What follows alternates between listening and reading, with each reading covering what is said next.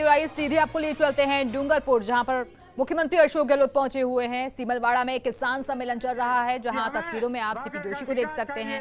तमाम स्थानीय नेता यहाँ पर मौजूद हैं। मुख्यमंत्री अशोक गहलोत का भी यहाँ स्वागत किया गया। तो किसान सम्मेलन यहाँ रखा गया है और इसी में शामिल होने के लिए किसानों से जुड़ी हुई जो समस्याएँ हैं ज़ाहिर तौर पर उसको लेकर मांग पत्र भी सौंपे जा रहे हैं। हालाँकि प्रदेश सरकार लगातार प्रयासरत रही है। उनके हितों के लिए महत्वपूर्ण घोषणाएँ की जाती रही हैं। और मुख्यमंत्री जब अपना संबोधन देंगे तो उनके भाषणों में भी इस बात का ज़िक्र होगा कि अभी कौन कौन से काम किसानों के हित में किए गए हैं। और इस वक्त हमारे साथ हमारे सहयोगी रवि शर्मा जुड़ गए हैं। रवि, फ़िलहाल तस्वीरों में हम देख रहे हैं कि मंच पर आसीन हो चुके हैं तमाम नेता और एक एक करके अब संबोधनों का दौर भी शुरू हो चुका है। बिल्कुल देखिए दिव्या अभी जो है डूंगरपुर के जो पूर्व सांसद रहे हैं ताराचंद गोगोरा वो संबोधित कर रहे हैं। उसके बाद में मुख्यमंत्री अशोक गहलोत जो है, वो किसान सम्मेलन को संबोधित करेंगे। ये जो किसान सम्मेलन है, ये खासा महत्वपूर्ण इसलिए भी माना जा रहा है क्योंकि पंचायती राज चुनाव होने वाले हैं और ऐसे में मुख्यमंत्री अशोक गहलोत का यहाँ आना एक बड़ा मैसेज जो है, वो कांग्रेसी कार्यकर्ताओं के लिए होगा, एकजुट करने के लिए होगा।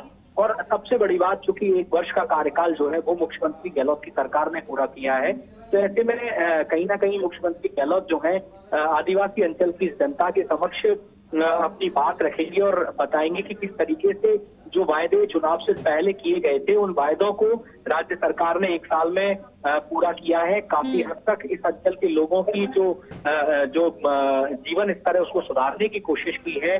खासकर चिकित्सा के क्षेत्र में जिस तरीके से मेडिकल कॉलेज जो है वो डूंगरपुर में शुरू किया गया। इसके अलावा भी हायर एजुकेशन के सेक्टर में स्कूल एजुकेशन के सेक्टर में नए अध्यापकों की भर्ती से जुड़ा हुआ मसला हो या फिर चिकित्सकों की ड्यूटी से जुड़ा हुआ हो मसला हो इसके अलावा पानी बिजली जैसी जो जो बुनियादी जरूरतें हैं उनको राज्य सरकार ने सुदृढ़ करने की कोशिश जो है वो की है तो कुल मिलाकर ये जो ये जो मौका है किसान सम्मेलन का इसके मार्फत अशोक गहलोत राज्य सरकार की जो भावना है उसको जनता के बीच रखेंगे हम्म। और इसके साथ में मैं बताना चाहूँगा कि विधानसभा अध्यक्ष डॉक्टर सीपी जोशी जो हैं वो भी यहाँ पर मौजूद हैं हम्म। और इसके बाद मुख्यमंत्री अशोक गहलोत जो है बांसवाड़ा में एक जनसभा को संबोधित करेंगे। तो कुल मिलाकर आज जो मेवाड़ बागड़ का जो दौरा है मुख्यमंत्री गहलोत का वो खासा अहम इसीलिए माना जा रहा है कि रवि आदिवासी बहुल्य इलाका सियासी लिहाज से भी काफ़ी अहम माना जाता है जैसा कि आपने कहा भी। आ, लेकिन क्योंकि निकाय चुनाव में तो परफॉर्मेंस हमने देखी पार्टी की और अब आने वाले वक्त में पंचायत चुनाव भी करीब है तारीखों का ऐलान भी हो चुका है। बिल्कुल देखिए दिव्या दो बड़ी चीज़ें हैं। पहली ये कि विधानसभा चुनाव में कांग्रेस को यहाँ पर बहुत अच्छा रिज़ल्ट नहीं मिला था। ये जो जगह है जहाँ पर एक किसान सम्मेलन आयोजित हो रहा है सीमलवाड़ा इलाका है जो कि चौरासी विधानसभा का क्षेत्र माना जाता है। हम्म। यहाँ पर भी भारतीय ट्राइबल पार्टी के जो एमएलए हैं वो जीत कर आए थे। तो कांग्रेस के लिए बहुत अच्छा यहाँ रिज़ल्ट नहीं था लेकिन इसके बाद लगातार कोशिश कांग्रेस की ओर से अगर बात करें मुख्यमंत्री खुद अशोक गहलोत की तो वो खुद जो है, मुख्यमंत्री बनने के बाद में दूसरी बड़ी जनसभा जो है, वो इस विधानसभा क्षेत्र में कर रहे हैं, चौरासी विधानसभा क्षेत्र में।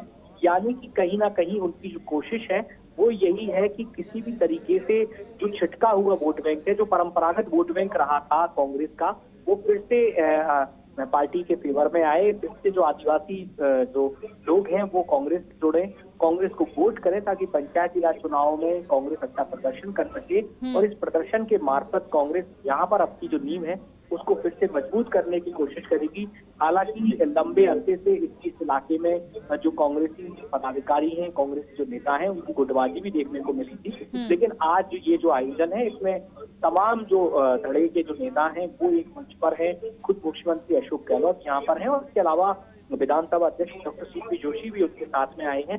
और एक बड़ी बात ये भी है, विद्या की, मुख्यमंत्री अशोक गहलोत जो है, उनका नियत नियत जो समय था, उससे तकरीबन एक डेढ़ घंटे लेट हुए क्योंकि उनका स्वास्थ्य जो है वो ठीक नहीं था। हम्म। और ऐसे में एक बार संभावना ये भी थी कि शायद वो यहाँ नहीं आए। लेकिन इसके बावजूद भी मुख्यमंत्री अशोक गहलोत चूँकि आदिवासियों से खासा लगाव रखते हैं आदिवासियों के विकास को लेकर हमेशा से समर्पित रहे हैं उनकी सरकारें हमेशा से आदिवासी अंचल के विकास को लेकर प्रतिबद्ध रही हैं। और यही वजह थी कि अस्वस्थ होने के बावजूद भी मुख्यमंत्री अशोक गहलोत ने भी साफ़ कर दिया था कि वो इस किसान सम्मेलन में ज़रूर आएँगे। और इस इस, इस बिल्कुल इससे पहले भी जब डूंगरपुर आए थे मुख्यमंत्री तो कई तरीके के ऐलान भी किए गए कि कौन कौन से प्रोग्राम इनके हित में चलाए जाएँ। लेकिन आज भी हम देख रहे हैं कि कई मांग पत्र सौंपे जा रहे हैं मुख्यमंत्री को। बिल्कुल। देखिए, दिव्या, जब प्रदेश का मुखिया जो है अपने बीच होता है तो हर हर प्रदेश के हर नागरिक की इच्छा होती है कि उसकी अगर कोई समस्याएँ हैं तो सीधे उनसे रूबरू हो, सीधे उनको अपना मांग पत्र रखे, ताकि सीधे मुखिया से वो मुखातिब हो सके। और देखिए अशोक गहलोत की अगर बात करें तो जिस तरह की उनकी छवि रही है एक जनता के खासे करीब रहने की उनकी आदत है। चलिए यहाँ पर रोकना चाहूँगी रवि आपको। सीपी जोशी को सुनते हैं। उपस्थित भाइयों बहनों नौजवान साथियों। विधानसभा अध्यक्ष के रूप में मुख्यमंत्री जी के सामने मुझे अपनी बात कहनी है पर आप सब जानते हैं कि मैं मूलतः कांग्रेस का विधायक रहा लंबे समय तक। आज जिस संवैधानिक पद पर मैं बैठा हुआ हूँ, उसमें मेरी ज़िम्मेदारी बन जाती है कि मैं इस इलाके में जो हमारे आज़ादी की लड़ाई में जिन लोगों ने भाग लिया, जिसने देश के निर्माण करने की कल्पना की और जिनके मन में कल्पना थी कि इस देश को हम संवैधानिक, संसदीय लोकतांत्रिक प्रणाली के माध्यम से आगे बढ़ाने का काम करेंगे, उसको मैंने देखा है, समझा है। इसलिए मैं समझता हूँ कि मैं आपका ध्यान आकर्षित करना चाहता हूँ, यहाँ के नौजवान पीढ़ी के लोगों को। आप सब जानते हैं कि किसान जब खेती करता है तो किसान एक दिन में खेती की फ़सल अपने घर पे नहीं ला सकता। उसको खेत जोतना पड़ता है, बीज डालना पड़ता है, पानत करनी पड़ती है, तब जाकर फ़सल पैदा होती है और तब उसका मूल्य अपने घर पे आता है। संविधान में जो व्यवस्था है, किसी भी इलाके की प्रगति उसी तरह से है, जिस तरह से किसान एक अपनी फ़सल को अपने घर पे लाता है। पाँच साल में हर साल चुनाव होते हैं विधानसभा के चुनाव होते हैं, लोकसभा के चुनाव होते हैं। चुनाव में जो पार्टी जीतती है, उस पार्टी नीति नीति बनाकर गाँव और गरीब आदमी का विकास करने की कल्पना करती है। मैंने देखा है और समझा है, लंबे समय तक सरकारों के पास पैसा नहीं था। सरकार सड़क बनाने का काम करती थी, बिजली लाने का काम करती थी, अस्पताल बनवाने का काम करती थी, पर जैसे जैसे राज के पास पैसा आया वैसे वैसे राज ने काम करने के तरीके बदले हैं। और मुझे अशोक गहलोत जी के साथ मंत्री के रूप में काम करने का मौका मिला है। और मैंने देखा है कि एक मुख्यमंत्री के रूप में उन्होंने सड़क बनाने से ज़्यादा काम करने का काम किया कि गरीब आदमी के जीवन में परिवर्तन करने के लिए सबसे ज़्यादा पैसा खर्च होता है अपने स्वास्थ्य के लिए। बीमार आदमी जब हो जाता है, तब गरीब आदमी की क्या तकलीफ़ होती है? वो गाँव का गरीब आदमी जानता है। गाँव के गरीब आदमी के इलाके में जिस तरह की बुराई है, बीड़ी पीना, शराब पीना, एक नौजवान आदमी 12-15 साल में ही बुराई को ग्रस्त हो जाता है। 40-45 साल बाद कोई काम नहीं कर सकता है और जब बीमार हो जाता है, तब उसका लड़का अस्पताल भर्ती करने के लिए देवरे के बाद अस्पताल जाता है और डॉक्टर के पास दवाई लगाता है। दवाई की जो कीमत है, वो गरीब आदमी जानता है कि कितना पैसा खर्च होता है। उसकी ज़मीन बिक जाती है और गरीब आदमी का बच्चा छोटी उम्र में कर्जदार बन जाता है। गरीब आदमी के पास रोज़गार चाहिए। गरीब आदमी के पास स्वास्थ्य का पैसा चाहिए। किसी की सरकार के मुख्यमंत्री के मन में एक कल्पना हो गरीब आदमी की मदद करने के लिए राज, अपने राजकोष से मदद देने का काम करेगा। ये काम प्रारंभ किया उन्नीस सौ अट्ठानवे में। अशोक गहलोत जी ने मुख्यमंत्री योजना के अंतर्गत। और आज मुझे कह देखते हुए प्रसन्नता है कि मुख्यमंत्री जी के मन में कल्पना है कि इस देश में, इस प्रदेश में लोग निरोगी होने चाहिए, स्वस्थ रहने चाहिए। और स्वस्थ रहने के लिए यदि उन्हें कोई तकलीफ़ है, दवाई की आवश्यकता है, किसी इलाज की आवश्यकता है तो पूरा का पूरा पैसा राज देगा। हमारे इस इलाके में लोगों को रोज़गार की भी आवश्यकता है। स्वास्थ्य के लिए खर्च की भी आवश्यकता है। ये मनरेगा की योजना लागू की। लोगों के हाथ में पैसा है। पैसा खर्च करे, बच्चे को पढ़ाए, बच्ची को पढ़ाए और अपने जीवन को आगे बढ़ाने का काम किया और काम करने की कोशिश करने का काम सरकारें करती रही है। और संविधान में यही तरीका है। धीरे धीरे कर कर अपने इलाके की तरक्की करने का काम करें।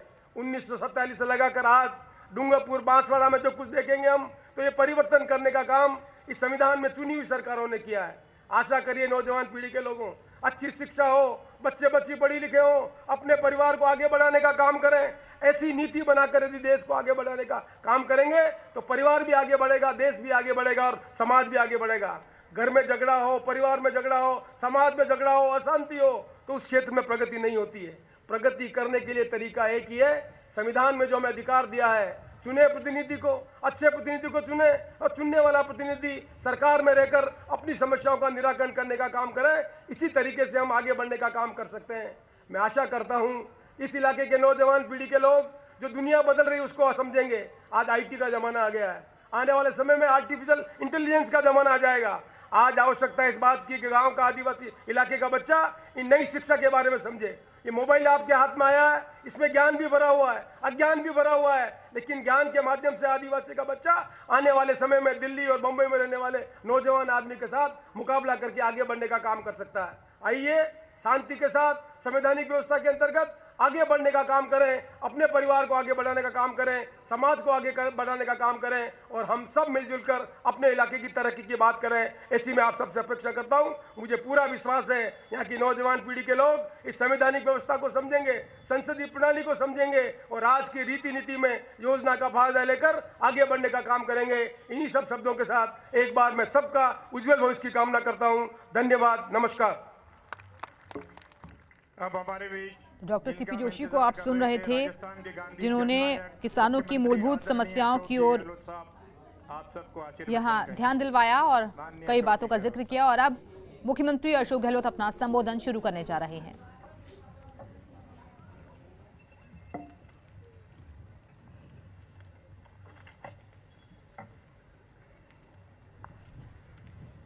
हमारे विधानसभा के अध्यक्ष आदरणीय doctor C P Joshi ji, प्रभारी मंत्री हमारे राज्य मंत्री राजेंद्र यादव साहब, जिला अध्यक्ष दिनेश खुडनिया जी, हमारे वरिष्ठ नेता, पूर्व सांसद तारचंद भगोरा जी, आपके लोकप्रिय विधायक डूंगरपुर गणेश गोगरा जी पूर्व विधायक आदरणीय शंकर हारी जी, राजा मीणा जी, लाल शंकर घाटिया जी, प्रधान साहिबा श्रीमती मंजुला जी रोत महेंद्र बरजोत श्रीमती निमिषा जी भगोरा, हमारे साथी असर अहमद साहब, शंकर यादव जी, प्रीकांत पंड्या जी, प्रेम कुमारी पाटीदार जी आदरणीय भगवत लाल जी रोज साहब, श्रीमती रतन देवी जी भराड़ा मनोज सिंह जी चौहान, ब्लॉक अध्यक्ष, प्रकाश पाटीदार जी, अन्य उपस्थित हमारे तमाम पदाधिकारीगण भाई और बहनों, बुज़ुर्गों, माताओं और नौजवान साथियों। यहाँ आकर के मुझे बहुत ही प्रसन्नता का अनुभव हो रहा है। आते मुझे ये ये कड़ा बना कि जी, कड़ा बोल रहा बार बार, ये कड़ा बोल रहा कड़ा बोल रहा है एक मेरे साथी आए नौजवान तो साथी आपके बनाते हैं कड़ा तो कड़ा बाँध दिया है। सुकून है, आप सबका आशीर्वाद है। आप सबका बहुत धन्यवाद, शुक्रिया। मुझे खुशी है कि शिमलवाड़ा में आप लोग इतनी बड़ी तादाद के अंदर यहाँ बैठे हैं, किसान सम्मेलन है। आचार संहिता लागू हुई है अभी अभी दो घंटे पहले ही। चुनाव आ रहे हैं पंचायतों के। इसलिए सरकार के लिए आचार संहिता लागू होने के बाद में जो मांगे की गई है, अभी हमारे दिनेश जी ने तारचंद जी ने, अन्य साथियों ने उसके बारे में मैंने इनको कह दिया है। उसकी चिंता आपको नहीं, एक, उस चिंता हम लोग करेंगे। और कांग्रेस ने हमेशा करी है। कांग्रेस ने आज़ादी के बाद से ही हमेशा इस देश के आदिवासियों का ध्यान रखा है। पंडित जवाहरलाल नेहरू के वक्त से ही तो कांग्रेस ने रखा है। किस प्रकार उड़ीसा के आदिवासी हों, छत्तीसगढ़ के हों, झारखंड के हों, मध्य प्रदेश के हों, गुजरात आपके पड़ोस के अंदर हैं, राजस्थान के हों, हमेशा किस प्रकार उनका जीवन स्तर ऊपर उठे,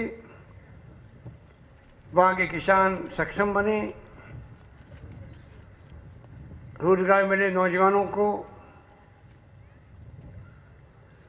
इलाकों में जो आप लोग पहाड़ों में रहते हैं, कई लोग तो अधिकांश लोग, ऊपर तक कैसे पानी पहुँचे, कैसे बिजली पहुँचे, कैसे शिक्षा स्कूल खुले, पहाड़ों के अंदर कैसे स्वास्थ्य सेवाएँ पहुँचे पीएचसी सीएससी सब सेंटर, पशुओं के लिए अलग अस्पताल छोटे बड़े ये कोई मामूली काम नहीं थे। जो बुज़ुर्ग लोग बैठे हैं, उनको मालूम है कि आज़ादी के वक्त में कुछ नहीं था। और लोग मांग भी नहीं करते थे। लोग समझते थे, बिजली होती क्या है? हर चीज़ विदेशों से आती थी। ये कांग्रेस की सितर साल की यात्रा है देश में। आज जो कुछ मुल्क दिख रहा है गाँव गाँव में पानी, बिजली, शिक्षा स्वास्थ्य सड़कें सिंचाई के साधन, ये आपका माही भागा डैम पंजाब में इंदिरा गांधी के नारा राजस्थान उसके कारण से ये किसने बनाया ये कांग्रेस ने बनाया। स्कूलें खोल दी, कॉलेज खोल दी, विश्वविद्यालय हमने खोला आदिवासियों के लिए। पिछली बार आपने मुझे मुख्यमंत्री बनाया तो मैंने बिना चला करके, बिना मांग किए हुए मैंने उदयपुर के अंदर आदिवासी विश्वविद्यालय खोला नया, ये पहली बार हुआ। कि हमारे आदिवासियों के बच्चे हैं उसमें, पढ़ सके और उनको लाभ मिल सके। हर कोशिश की गई स्वास्थ्य सेवाओं के लिए भी। अब मेडिकल कॉलेज, जब डूंगरपुर मासड़ा खुल सकता है, राजस्थान के हर ज़िले के अंदर, ये मेरे ख्याल पूरे मुल्क में पहला राज्य हुआ राजस्थान। 325 करोड़ रुपए लगते हैं एक मेडिकल कॉलेज खोलने के अंदर, क्योंकि उसके साथ में 500 बेड का अस्पताल खोलना पड़ता है।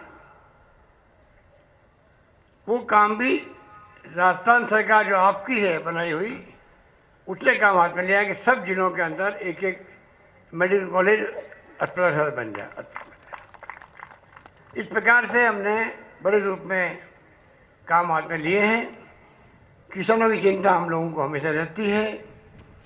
और इसीलिए हम लोगों ने हमेशा ध्यान रखा इस धरती के लिए जो इस धरती संत महात्माओं की है, फ्रीडम फाइटर्स की है, यहाँ आपके आज़ादी मिलते ही जो संघर्ष किया था जमाने के अंदर, चाहे भोगीलाल पंड्या थे, चाहे वो गोविंद सिंह उपाध्याय थे, हरदेव जोशी थे, बीकाबाई भीड़ ने तो आदिवासियों का नाम जो है पूरे देश में पहुँचाया। पूरा मुल्क भीकाबाई भील को जानता था। पंडित नेहरू के भी, इंदिरा गांधी के, राजीव गांधी के बहुत चहेते थे वे। और मुझे सौभाग्य कि भीकाबाई है वरिष्ठ नेता मेरे, जब मैं प्रदेश कांग्रेस अध्यक्ष बना तो मेरे साथ में उन्होंने उपाध्यक्ष बनकर के काम किया। जब मैं मुख्यमंत्री बना पहली बार तो मेरे मंत्री बने मेरे मंत्रिमंडल के अंदर, मुझे बहुत कुछ सीखने को मिला उनसे बीकाबाई बीच से। हमेशा वो नहरों में कैसे विस्तार हो बीकाबाई भील ब्रांच हमने बनाई यहाँ पर, सागवाड़ा के अंदर।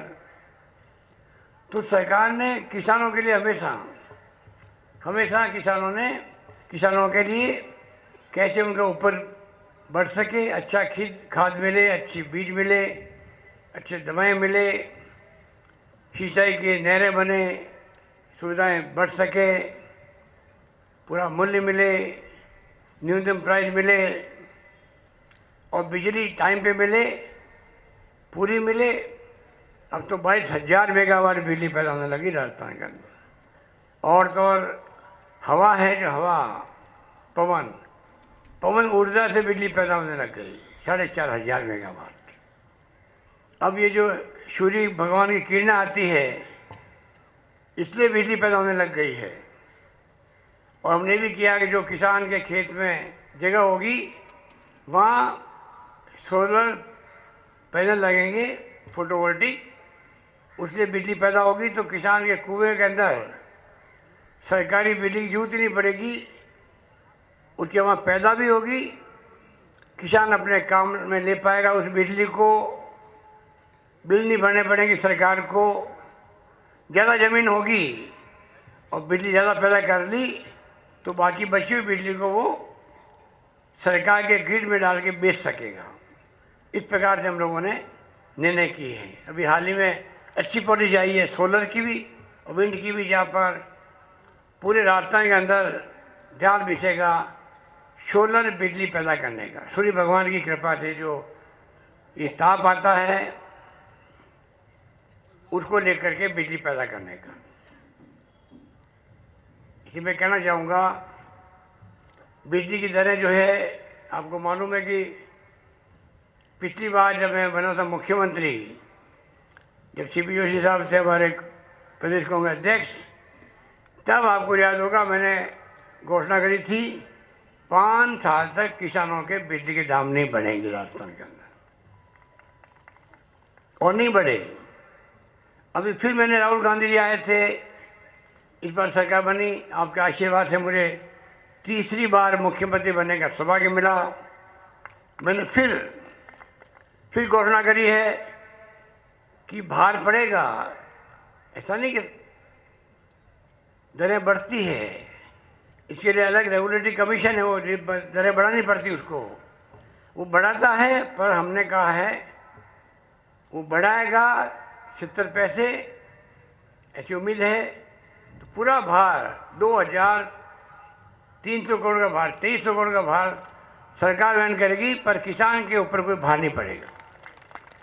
इस रूप में हमने बराबर कोशिश की है कि किस प्रकार से आपके यहाँ पर खेती का विकास हो, क्योंकि आप टी एस पी के लोग हैं, यहाँ पर ज़मीन की जोत जो है बहुत कम है आपके पास में, लंबे जोड़े खेत नहीं हैं। रेगिस्तान के इलाकों में तो आपको मालूम है सौ सौ बीघा के खेत भी होते हैं। बंजर भूमि होती है, हालाँकि वो अलग बात है। पर आपके यहाँ भी जोत कम है आपकी। फिर भी आप अपनी अकल होशियारी से मेहनत करके आप लोग अधिक से अधिक फ़सल लेने का प्रयास करते हैं। तो मैं आपको आह्वान करना चाहूँगा कि आप इसमें निश्चिंत रहें। सरकार इसमें जो भी संभव होगी आपको लगातार सुविधाएँ देगी और हम चाहेंगे कि यहाँ का किसान खुशहाल बने, क्योंकि पूरी खेती आप निर्भर करते हैं, खेती पर निर्भर करते हैं। ये भला हो डॉक्टर मनमोहन सिंह जी का और सोनिया गांधी जी का। और संयोग से उस वक्त में हमारे केंद्रीय मंत्री आज के विधानसभा अध्यक्ष सीपी जोशी जी थे, पंचायत राज के ग्रामीण विकास के।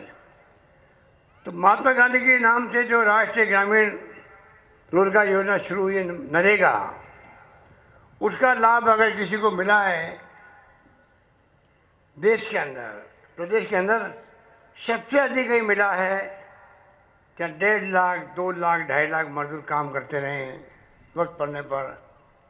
चाहे प्रमुख अपना ताजन भोगरा हो, चाहे महेंद्र मालविया हो? ढाई डेढ़ लाख किसे कहते हैं? डूंगरपुर बांसवाड़े के अंदर।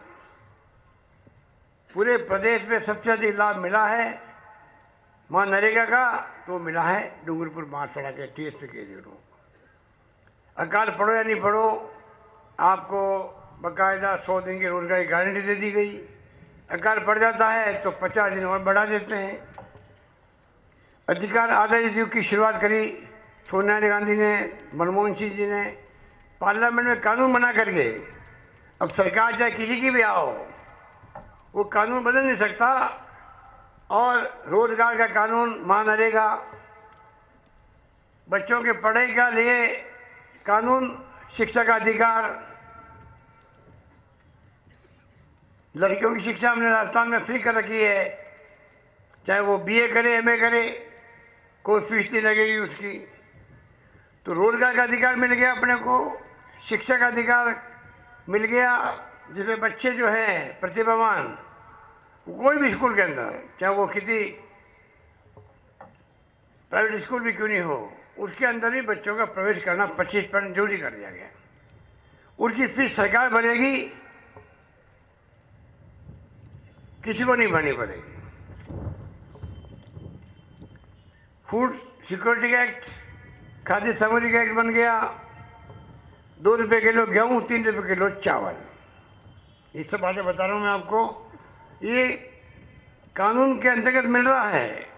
ये पहली बार सरकार आई मनमोहन सिंह जी की, जिसे पार्लियामेंट में कानून बना करके आपको अधिकार दिया, सरकारें बदलती रहती है। पर ये आपको फ़ूड सिक्योरिटी दो रुपये किलो गेहूँ, तीन रुपये किलो चावल मिलेगा। और राजस्थान सरकार ने आपका आशीर्वाद से मैंने फैसला किया।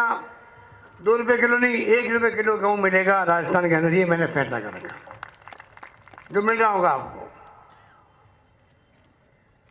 सूचना का अधिकार दिया, बड़ा महान क्रांतिकारी कदम था। इस सरकार ने उसको कमज़ोर कर दिया। वो अच्छी अच्छी कोई अच्छा संकेत नहीं है। इसलिए मैं आपको अपील करना चाहूँगा कि आप निश्चिंत रहें। हम लोग हमेशा ध्यान रख रहे हैं किस प्रकार से अधिक से अधिक क्षेत्र का विकास हो।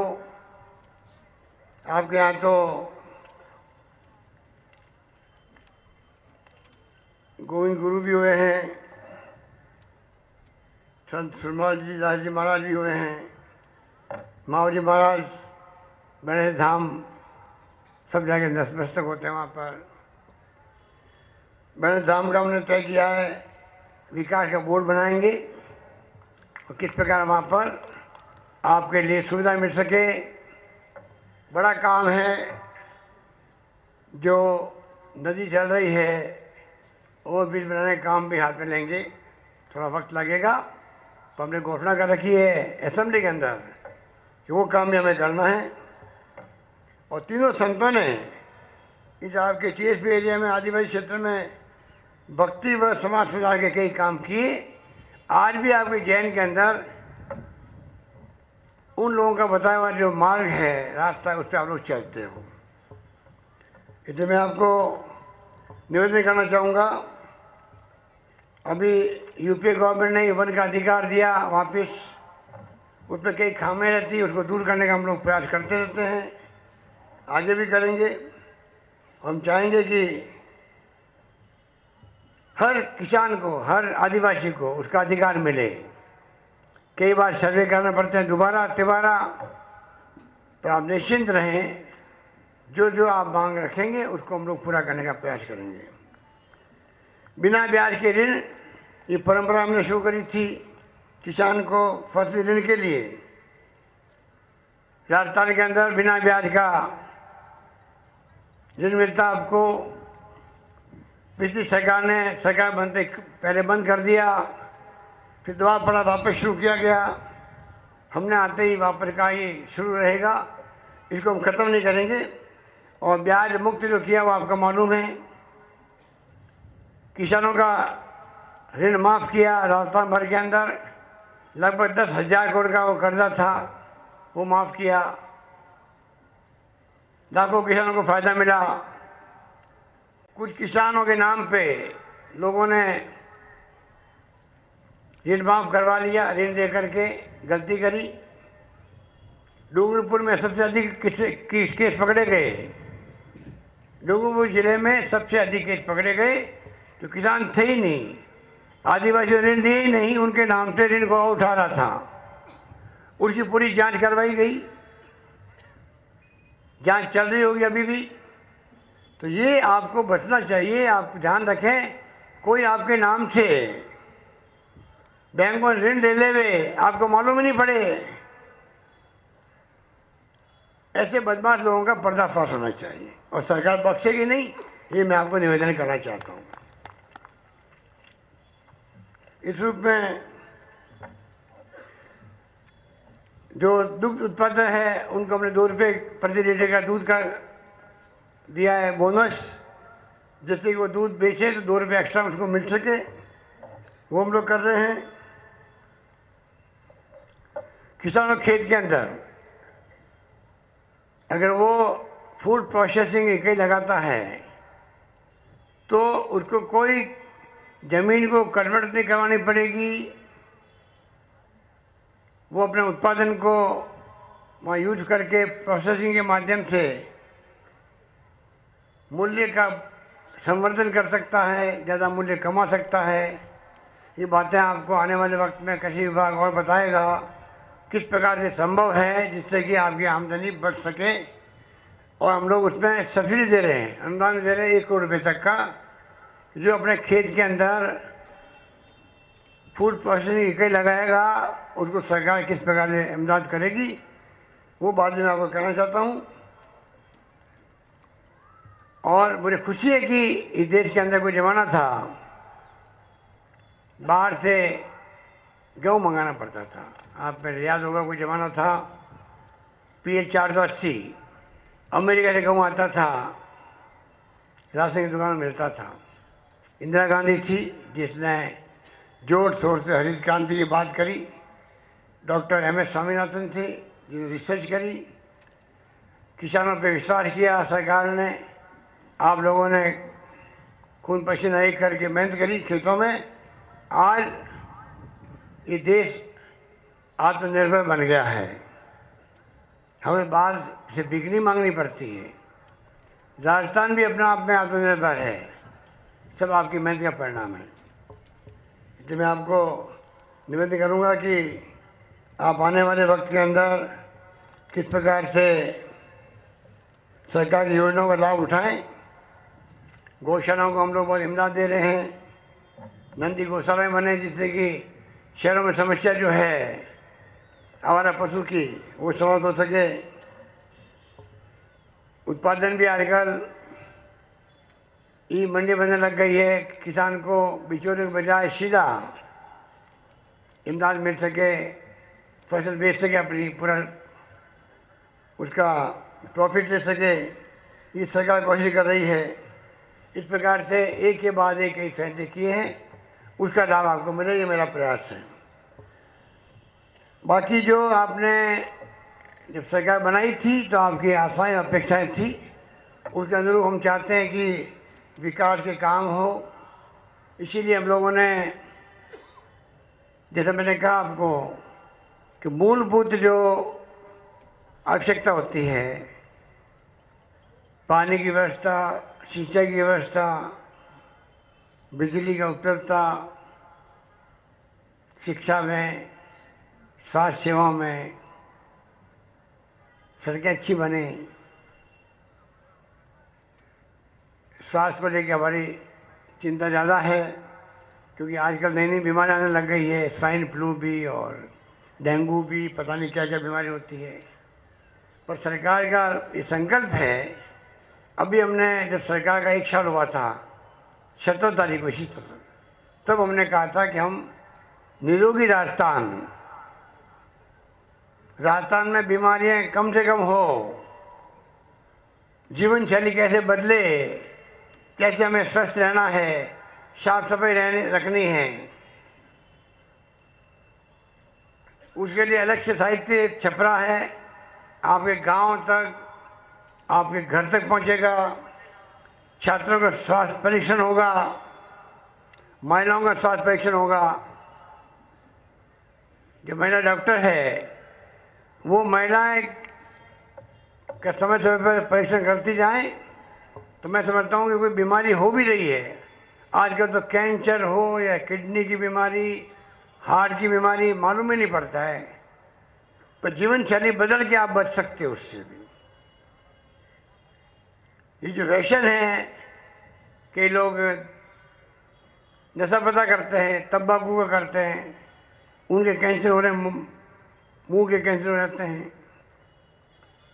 कई लोग शराब पीते हैं तो लीवर खराब हो जाता है। तो तमाम तरीके से अभी टाइम नहीं कि मैं आपको उनमें बातों में बताऊँ। वो तमाम तैयारी हमारी चल रही है।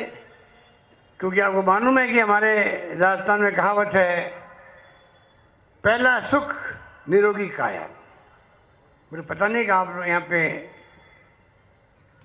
यहाँ लोगों में भावना है कि नहीं है, या मालूम है कि नहीं है, कहावत का। मैं मालूम आप लोगों को। पहला सुख निरोगी काया। है मालूम? फिर तो मालूम होगा, दूसरा सुख दूसरा सुख क्या मालूम होगा फिर? है मालूम अभी। सात सुख है। वो आप घर जाके गूगल पे देखना। बच्चे जो है ना, आजकल जो गूगल का जमाना आ गया है, इंटरनेट की सेवाएँ गूगल कंप्यूटर, ये राजीव गांधी की देन थी देश को। अब बच्चा जो है, दुनिया मुट्ठी में हो गई। क्या हो रहा है दुनिया में, देश में, प्रदेश में? सब जानकारी रखते हैं, सोशल मीडिया का उपयोग करते हैं। कमेंट लिखते हैं कमेंट पढ़ते हैं। जमाना बदल गया है। गूगल की सेवा लेते हैं। गूगल पूरा ऐसा सर्च है कि दुनिया में कौन क्या है। वो पूरा उसको देख सकता है। तो सात सुख कौन से ज़िंदगी में, वो भी उसके अंदर आया हुआ है। और पहला सुख क्यों का, पहला सुख क्यों का है? आदमी स्वस्थ रहे। बीमार नहीं पड़े इसलिए कहा है अगर बीमार आदमी है तो चाहे उसको धन, बल कितने उसके पास हो, कोई सुख नहीं उसके पास।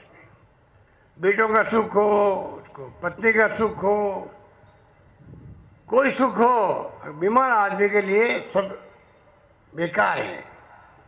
इसलिए हमने सूत्र पकड़ा है, पहला है सुख निरोगी काया। ठीक है? मैं एक नारा लगाऊँगा आपसे। मैं बोलूँगा, पहला सुख, आप सब बोलोगे, निरोगी काया। पहला सुख, ज़ोर से बोला आप लोग, पहला सुख, और ज़ोर से, पहला सुख बस बस बस इस सुख को प्राप्त कर लिया तो फिर कोई सुख की ज़रूरत नहीं आपको, सुख सब अपना में आ जाएँगे आप। बीमारी शरीर पड़ा हुआ है तो किडनी खराब हो रही है, हार्ट अटैक हो रहा है, बीपी बढ़ रही है, डायबिटिक हो गई है आप बताओ, फिर ज़िंदगी में क्या है? तो क्यों नहीं हम स्वस्थ रहें? रह सकते हैं। सरकार आपके साथ खड़ी मिलेगी आपको। दवाएँ फ्री कर दी हम लोगों ने। पाँच पाँच हज़ार के इंजेक्शन फ्री है आपकी दवाओं में। दवाएँ फ्री, टेस्ट फ्री कर दी हमने। खून की जांचें फ्री कर दी। हमने सोनोग्राफी फ्री कर दी। डायलिसिस फ्री कर दिया। कई सी तक फ्री है जांचें भी। इस रूप में, बड़े रूप में हम लोगों ने, जो बुज़ुर्ग आदमी है, उनके लिए सीटी स्कैन, एमआरआई फ्री कर दी गई है।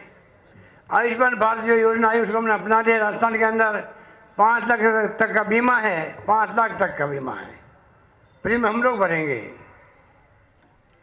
तो ये जो है, इसका फ़ायदा मिलेगा तो भर्ती हो तो उसके लिए हो। बिना भर्ती वाले मरीजों का सिर्फ़ हिंदुस्तान में एकमात्र राजस्थान राज्य है, जिसने 900 तरह की बीमारियों की 900 तरह की दवाइयाँ फ्री कर दी है और जिसकी तारीफ़ सब जगह हो रही है। पूरे देश में हो रही है, पूरे प्रदेश में। विश्व स्वास्थ्य संगठन में हो रही है तारीफ़ कि राजस्थान गवर्नमेंट ने दवाएँ फ्री करके एक बहुत बड़ा फैसला किया है। तो मैं कहना चाहूँगा आपको कि ये तमाम बातें अपनी जगह मायने रखती हैं। आप निश्चिंत रहें कि हम लोग आपके बीच में पहले भी आते जाते रहे हैं। आपको याद होगा, अकाल पड़ा था जब मैं पहली बार मुख्यमंत्री तरफ़ दो तीन अकाल लगातार पड़ गए थे। इसी पी साहब भी हमारे मंत्री थे। काम के बदले अनाज योजना लागू करी थी हम लोगों ने। गेहूँ मिलता था काम के बदले में। निजी काम, निजी कुंड, कुछ काम कर लो, भले ही गेहूँ मिलेगा आपको। और इतनी बोरियाँ इकट्ठी हो गई कहीं घरों में रखने जगह नहीं रही थी, वो जमाना भी था। हमेशा आप लोगों ने ध्यान रखा आपका। और आगे भी कोई निश्चिंत रहो आप लोग।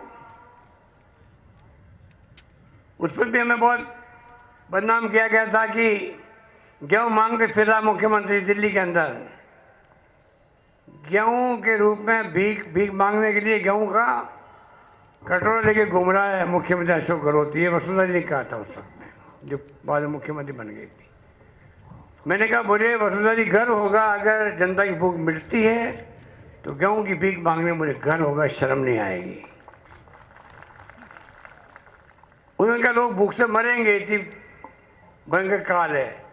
मैं गाँव गाँव में गेहूँ की बोरियाँ रखवा दी हम लोगों ने। पाबंद कर दिया सरकारी कर्मचारियों को घर घर में गेहूँ पहुंचाओ जी ज़रूरत हो।